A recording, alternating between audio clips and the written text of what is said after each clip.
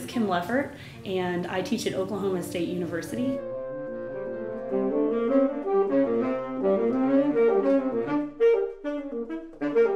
My name is Jeff Loeffert. I also teach at Oklahoma State University.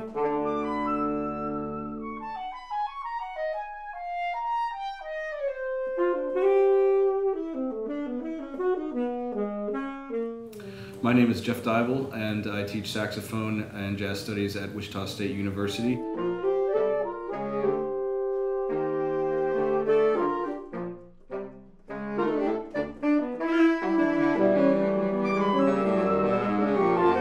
My name is Jonathan Nichol, and I'm the saxophone professor at the University of Oklahoma.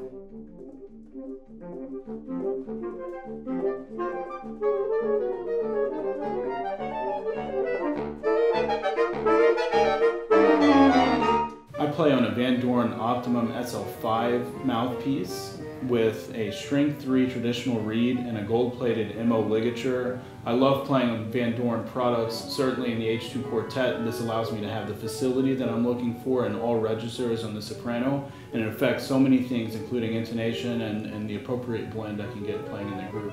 Um, it's really an excellent setup. I play on a Vandoren AL3, uh, which is part of the Optimum line, and I play on a gold-plated uh, MO ligature and a size 3.5 traditional reed.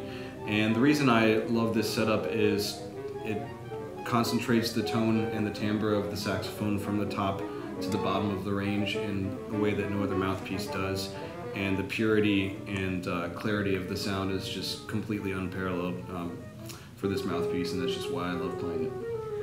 I play on the Vandoren Optimum BL3 mouthpiece with the MO ligature, and I actually switch back and forth between the traditional blue box uh, three and three and a half, uh, depending upon the style.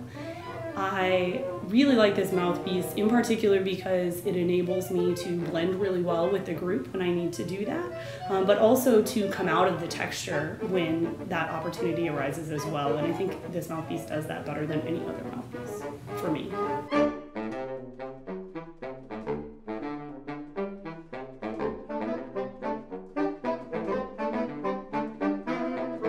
I play the Vandoren T20 V5 series tenor saxophone mouthpiece.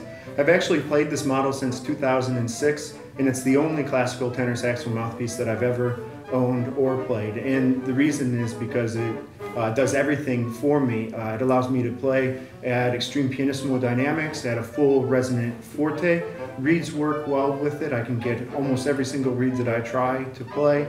Uh, it articulates well. It is resonant in the low range of the horn. It's resonant in the high range of the horn. Uh, altissimo facility is fantastic with the mouthpiece.